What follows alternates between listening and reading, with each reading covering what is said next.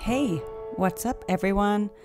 Welcome to my channel. I don't know why I'm dancing because it's been six months since I've made a video.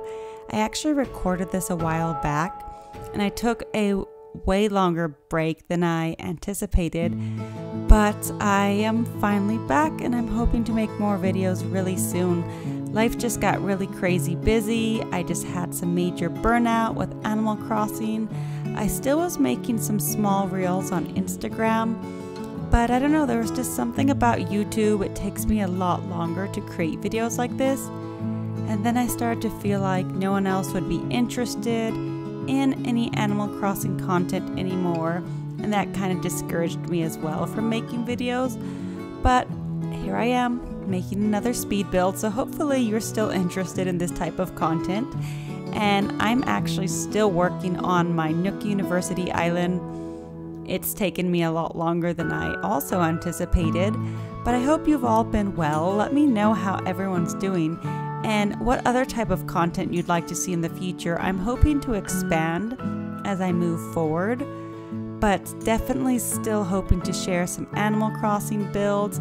I've definitely created a lot on Happy Home Paradise. But right here, we're going to work on a small little area in front of the resident service building, and I just hope you enjoy it. I won't do too much talking today. I'm having some issues with my technology, but I'll pop in here and there, and I just I'm really happy to be back.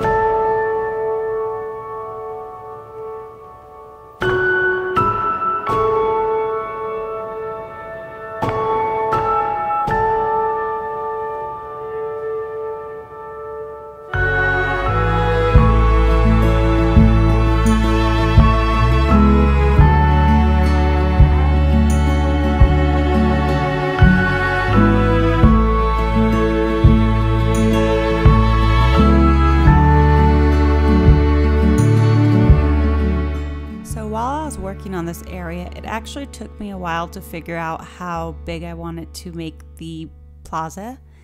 And you'll notice that it's not too big. It looks really pretty in the pictures, but after I've completed this, I kind of do wish I expanded the area.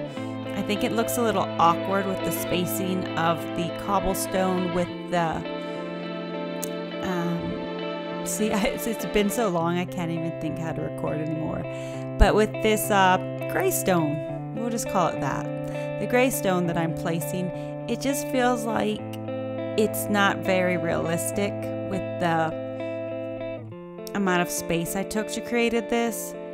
So I think I might go back and revisit this build now that I'm recording this video and I'm getting a better idea of what it looks like.